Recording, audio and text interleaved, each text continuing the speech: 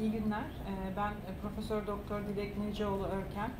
Ee, Memorial Şişli Hastanesi'nde e, nöroloji bölümünde e, çalışıyorum. Vasküler nöroloji alanında e, özellikle e, hastalarla ilgileniyorum. E, İnme ile ilgili e, kısaca bir bilgi verecek olursam, inme ani e, gelişen beyin damarlarında bir tıkanma ya da yırtılmaya bağlı olarak e, ortaya çıkan e, bir nörolojik tablo. Çok sık e, görülen nörolojik hastalıklardan bir tanesi ve e, en önemli özelliği de sık görülmesinin e, yanında e, dünyada ve Türkiye'de ikinci ölüm nedeni olması E, ve e, hemen hemen e, her altı kişiden biri hayatının bir döneminde e, inme geçiriyor e, diyebilirim. Ve bir diğer önemli özelliği de e, özel, özürlülüğe e, neden olması. E, bu açıdan da e, özürlülüğe neden alan en e, önde gelen hastalıklardan bir tanesi. Bir soruyla başlamak istiyorum. İnme durumları sıklıkla yaşlılarda görülen bir durum mudur? Nedenlerin e, nedir diye sormuş izleyicimiz. E, inme genellikle yaşlılarda daha sık olmakla birlikte e, yani gençlerde de e, görülüyor ve yaş durumuna e, bakmaksızın e, her saniyede iki kişi dünyada inme geçiriyor. E, nedenlerine baktığımızda yüzde 30, 25-30 civarında geniş damarlarımızın, şah damarı gibi geniş damarlarımızın kireçlenmesine ve daralmasına bağlı olarak ortaya çıkabiliyor. Yine aynı oranlarda kalpten kaynaklanan pıhtının beyne gitmesiyle ortaya çıkıyor. Ki genellikle kalpte e, buna en sık neden olan e, olay ritim bozukluklarından olan atrial fibrilasyon. E, atrial fibrilasyon da yaşla birlikte görülmesi sıklığı artan bir hastalık. Üçüncü yüzde otuzlar civarında görülen üçüncü nedeni ise küçük damar hastalıkları. Bunlar beynin derinine dalan küçük penetran damarlar. Bunların tıkanıklığına bağlı olarak ortaya çıkabiliyor. E, çok daha fazlalıkla gençlerde görülen daha nadir e, nedenler var. E, damarların yırtılması gibi, e, yine kalpte sağdan sola geçişte normalde olup da kapanmayan patent foramen ovale dediğimiz deliğin olması gibi. Bir de bütün incelemelere rağmen nedenini bulamadığımız bir grup hastamız da var. Bu e, hastalıkların içerisinde, e, geniş damar hastalıklarının içerisinde şah damarı e, darlıkları olduğunu söylemiştim. E, şah damarı darlıkları belli bir e, oranın üzerinde eğer e, inmeye neden olduysa o zaman onları e, ameliyatla bazen de e, endovasküler girişimlerle stent koyarak e, açmak en iyi tedavilerden bir tanesi. E, ama e, eğer e, bu şah damarındaki darlık e, herhangi bir e, semptoma yol açmadıysa yani vücudun karşı tarafında herhangi bir e, güçsüzlük yaratmadıysa, aynı taraftaki gözde herhangi bir görme kaybı yaratmadıysa biz bu tarz darlıklara asemptomatik darlıklar diyoruz. E, işte bu hastaların e, bu darlıkları %70'in üzerine çıktığı zaman herhangi bir müdahale edip etmemek konusunda çok titiz davranmak gerekiyor. Bu hastaların seçiminde birçok özelliğe dikkat etmek gerekiyor. E, bir diğer e, e, soru sık gelen sorulardan bir tanesi e, daha önceden bir e, inme geçiren e, kişinin halen iki sorumuz var. Birinde e, yürüme zorluğunun devam ettiği, diğerinde e, elini kullanma zorluğunun devam ettiği, e, nörolojik tedavi gördükleri ancak başka neler yapılabileceğini sormuş izleyicimiz. E, geçirdiğimiz e, bir inmeye bağlı bizde kalmış olan bazı kalıntı bulgular olabiliyor gerçekten. Bu e, kolda bir güçsüzlük olabilir, bacakta bir e, güçsüzlük olabilir, yürümede bir bozukluk olabilir. E, bunların e, tedavisi için mutlaka fizik tedavi, rehabilitasyon e, görülmesi gerekiyor. Fizik tedavi, rehabilitasyon bize eski fonksiyonlarımızı kazandırmada e, yardımcı oluyor. E, ve bu fizik tedavi, rehabilitasyon öyle bir kere yapılıp bırakılacak bir şey de değil. Bir insanın e, hayatı boyunca da bu e, etkinliklere devam etmesi gerekiyor. E, sorulardan e, gidecek olursak, e, bir e, sol ayak parmaklarında uyuşması olan ve inmeden şüphelenen bir e, hastamız var. E, genellikle inme e, dediğimiz olay ani gelişen bir olaydır. Böyle e, süreyen e, bir uyuşuklukla inme e, olmuyor. E, ve e, genellikle de böyle sadece ayak parmaklarında uyuşmayla e, inme görülmez. E, inmenin belirtileri genellikle ani gelişen e, yüzde bir felç, e, kolda bacakta bir felç olabilir. Görme e, ile kay, ilgili kayıplar olabilir, görme alanı kayıpları olabilir. Konuşma bozukluğu olabilir. Bu peltek konuşmadan afazi dediğimiz konuşma merkezinin etkilenmesine bağlı olarak e, konuşamama, konuşulanı anlayamama, okuyup yazamama olabilir. Yine e, çift görmenin dışında e, yürürken bir e, dengesizlik e, olabilir. E, bu bütün bunlar e, inmenin e, belirtileri ani gelişiyorlar. E, bunlar e, tıkanma ile ilgili e, birçok bilgi verdim ama bazen beyin kanaması da e, bir inmeye neden olabilir. Orada da yine ani başlayan pek alışık olmadığımız bir baş ağrısı olması, bulantı kusmanın eşlik ediyor olması bizi uyarıcı olabilir. Bir diğer sorumuz e, hastamız e, kış döneminde yüz felci geçirdiğini e, ve yüzünün tamamen normale döndüğünü e, sormuş. E, bu e, tekrarlar mı diye soruyor. Yüz felci e, yani periferik yüz felci inmeden farklı bir e, felç. E, sadece e, yüzümüzün e, üst ve alt e, kaslarını tutan e, ve periferdeki sinirin tutulmasına bağlı olarak ortaya çıkan bir e, felç. E, inmede gördüğümüz yüz felçleri sadece ağzımızın alt kısmını tutan e, felçler. E, ikisi birbirinden biraz farklı.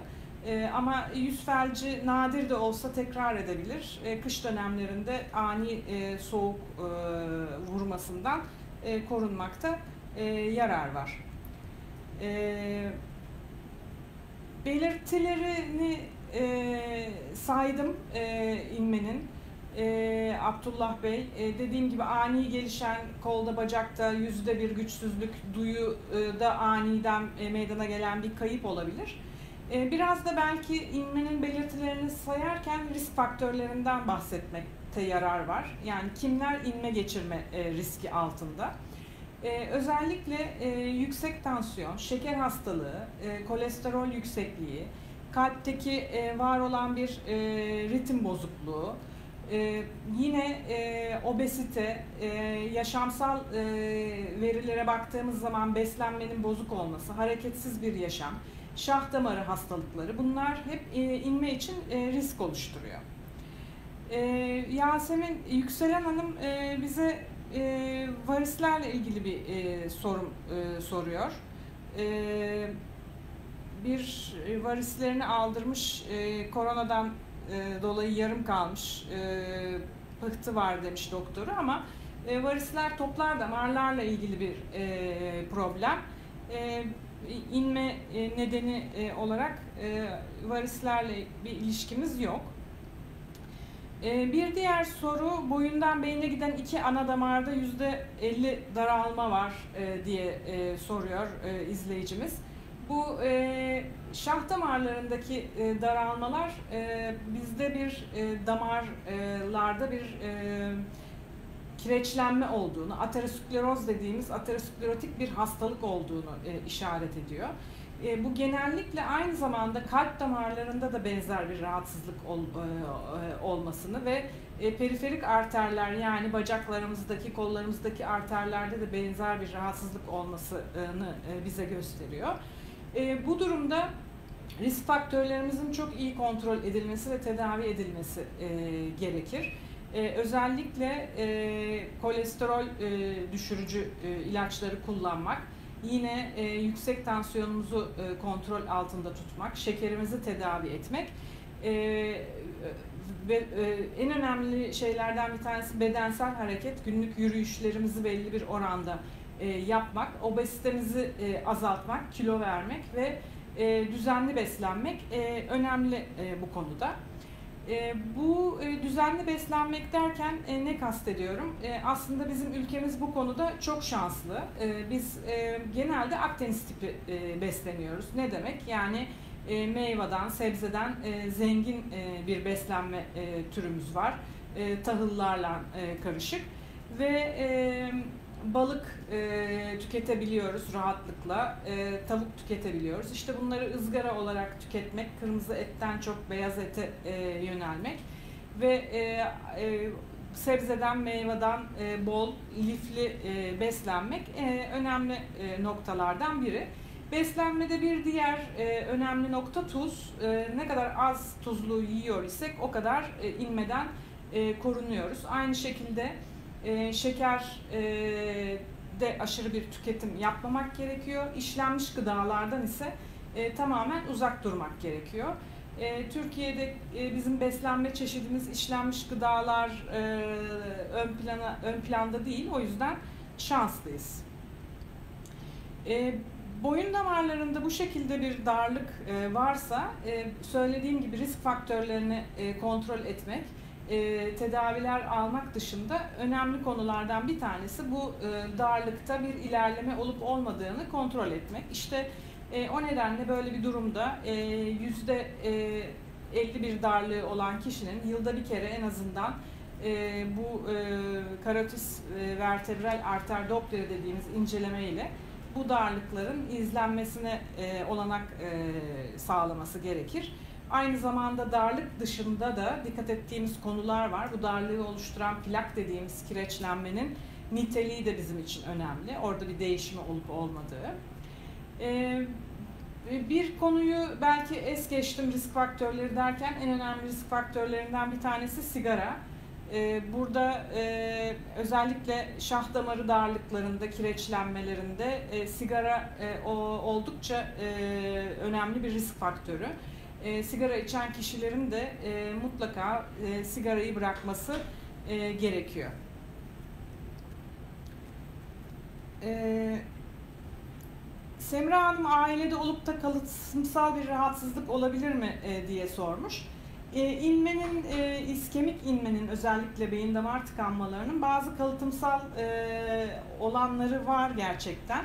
Ama bunlar oldukça nadir görülüyor ve e, hem e, hastalığın kendisinde hem e, yapılan beyin görüntülemelerinde e, böyle bir kalıtımsal rahatsızlığı düşündürecek özellikler oluyor. E, böyle bir durumda e, bu, e, bu yönde doktorlar incelemeleri genişletiyorlar. Yusuf Bey 4 ay önce inme geçirdim. Boyun damarlarımda sağ tam tıkalıydı. Solda %75 darlık var, 70 darlık vardı diyor. 2 ay önce bypass oldum. 4 damar değişti. Ne yapmam gerekir diyor. Eğer inmeye neden olan e, damar tıkanıklığı e, bu tam tıkanmış olan damarsa sol taraftaki %70 darlık e, asemptomatik bir darlıktır. O zaman bu darlıkla ilgili birçok e, alanda bir değerlendirme yapmak gerekiyor. Bu darlıktaki plak niteliğine bakmak gerekiyor. Ee, yine e, emboli sayımı dediğimiz e, transkraniyel Doppler'le yaptığımız bir yöntemle bu plaklardan pıhtı gidip gitmediğini saptamak gerekiyor. Yine e, beyni e, besleyen e, diğer kolateral dolaşımı e, belirlemek gerekiyor ve bundan sonra da bütün bu değerlendirmeleri yaptıktan sonra da bu damar tıkanıklığına bir müdahale yapmak gerekir mi gerekmez mi? E, Yusuf Bey'in özelinde karar vermek gerekiyor. Evet. Bir e, diğer izleyicimiz e, baş ağrısı olduğunu, e, migreni e, olduğunu ve inme olmasından kuşku duyduğunu söylüyor. E, inme olup olmayacağını nasıl yaptırmalıyım diyor.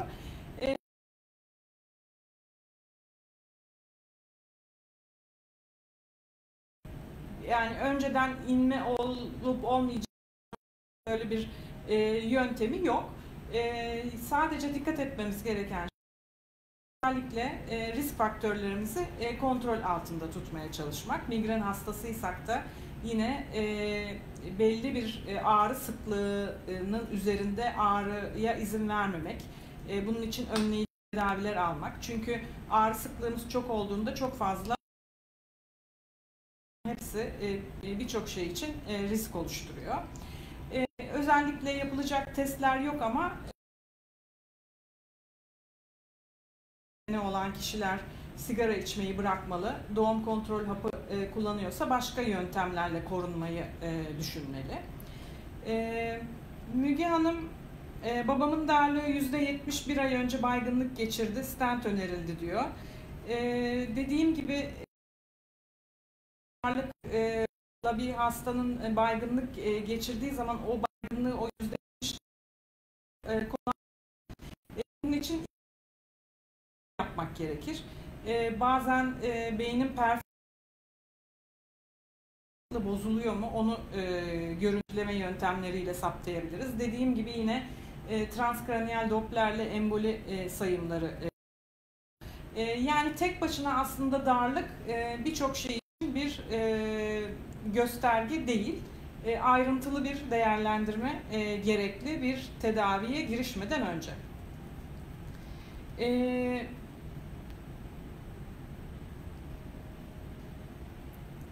bir o a, yine bir e, hastamız yüz felci geçirmiş e, ama geçici iskemik atakları da var. E,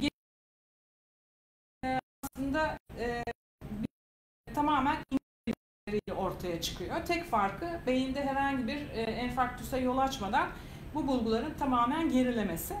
Bizim için çok önemli bir e, rahatsızlık geçici iskemik ataklar. Çünkü e, gelecek olan bir inmenin belirtisi e, olabilir ve hızlıca e, hastayı değerlendirmek faktörlerini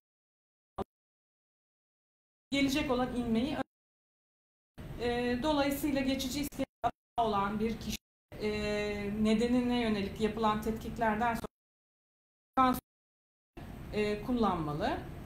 E, Mete Bey korona inmeyi tetikliyor mu e, diye sormuş. E, günümüzün en popüler e, hastalığı e, biliyoruz e, Covid-19'a bağlı korona. E, korona e, geçiren kişilerde özellikle e, orta ağır e, e, biliyoruz. Bu inmelerin e, bağlı inmeler ama e, beyin kanaması da e, görüyoruz. E, ayrıca korona sonrası e, da e, e yeni yeni birçok e, yazılar e, çıkmaya başladı. Görülen nörolojik e, belirtilerle ilgili. Yine inme bunun Dolayısıyla hem e, koronayı geçirmiş kişilerde hem de geçirdikten sonra e, herhangi bir e, yakınması varsa mutlaka nörolojik e, gerekiyor. E,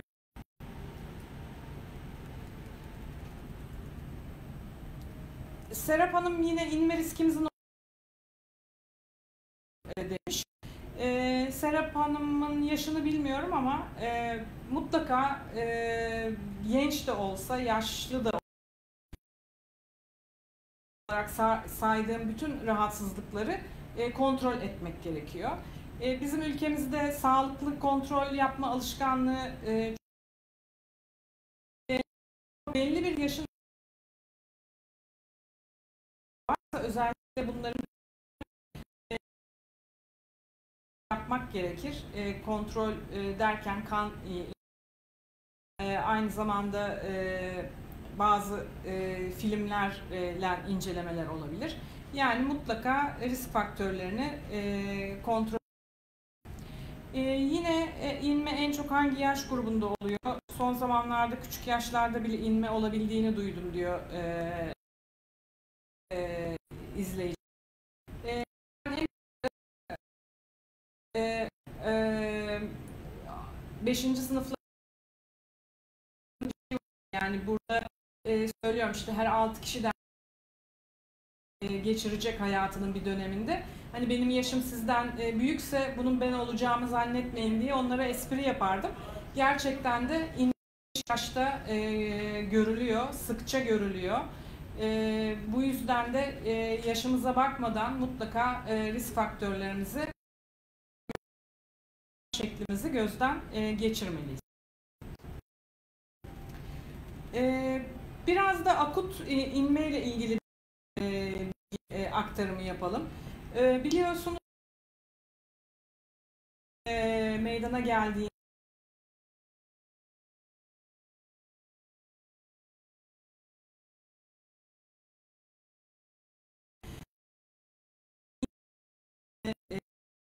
kişiler ki işte yüzümüzde bir e, kayma, kolumuzda bacağımızda bir bir bozulma gibi.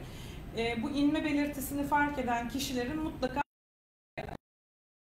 e, ambulans sistemiyle bu olabildiği bir hastaneye gitmesi e, gerekir.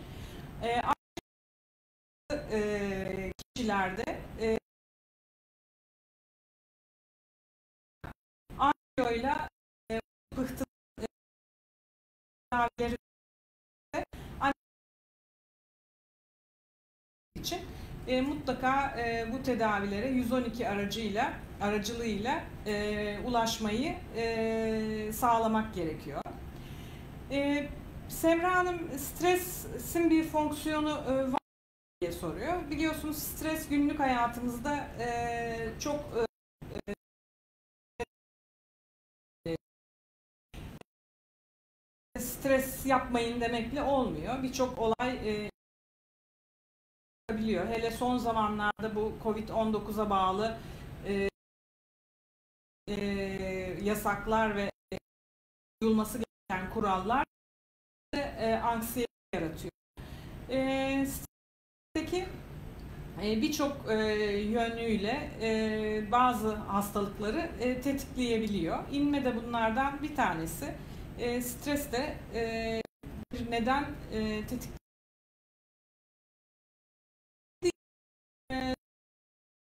Bey e, sabah kalkınca boyunda kol ve ele kadar şiddetli ağrı güç kaybı e, ta, tariflemiş. Gün içinde hafifliyor. E, bunların inme e, bu tarz e, uyku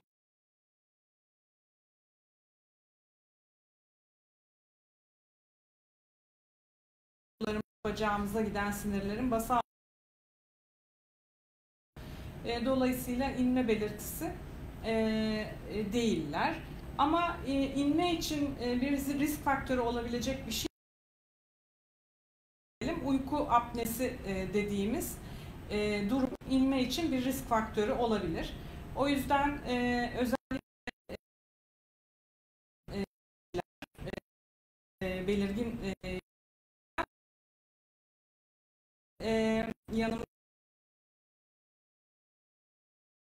olmasını fark edebilir.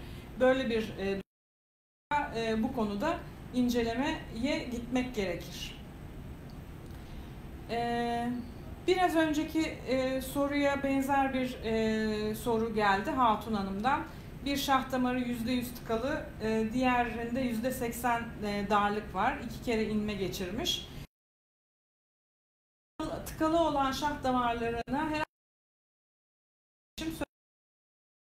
ama e, bir girişim e, yapmak gerekir. gerekiyor. Bunun için ileri bazı incelemelere gerek var. E, bu e, durum her hastanın e, bazında e, kendi e, bazında değerlendiriliyor. Çünkü kişinin cinsiyetinden, yaşından, e, var olan e, semptomlarına kadar e, ve bu tıkanıklığın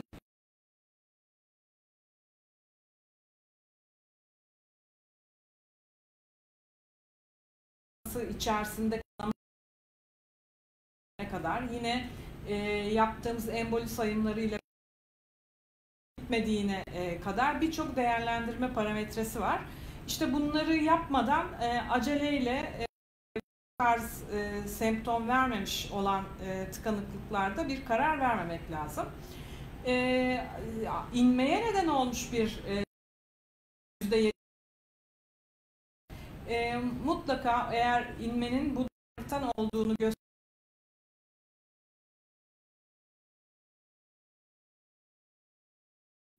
yapmak gerekiyor. Çünkü e, ki yaptığımız tedaviden en çok yararlandığımız e, zaman süresi. E, o bu larda e, endarterektomi dediğimiz ameliyatla da e, bu damar e, açılabilir ya da e, stentle de e, e, bu damar açılabilir. Bunun için de hastanın gene özelinde e, birçok e, değer e, neyle yapmak istediğimize karar vermemiz gerekiyor. E, Ayveniz e, Pekdağ Takayasu hastasıyım. Cerrahpaşa'da tedavi görüyorum. Bu aralar sol tarafımda sıkıntılar yaşıyorum, uyuşmalar var e, diye sormuş. Takayasu hastalığı e, bu şah damarlarında daralmaya neden olan e, özel e, rahatsızlıklardan bir tanesi. E, dolayısıyla e, mutlaka takip merkez iyi bir merkez. O merkeze e, başvurup bu sıkıntıları e, bildirmesi e, gerekir. E, kolunda ellerinde uyuşma oluyor e, diye söylemiş. 8 senedir var. E, ve e, bu e, dediğim gibi e, kollarda ellerde böyle kronik uyuşukluklar inmeyle alakalı değil. Mete Bey inme geçiren hastaya ilk anda tansiyon hapı vermek gerekir mi e, diye sormuş. E, burada inme e, geçiren hastada tansiyon çok yüksekse e, tansiyonunu düşürmek için bir takım girişimler yapıyoruz ama bunu ortamına bırakmak. E, onkolojik hastalarda inme görülme sıklığı nedir diye sormuş Semra Hanım. Onkolojik hastalarda e, kan, kanda bazı e, pıhtılaşma e, faktörlerinde bir takım değişiklikler oluyor ve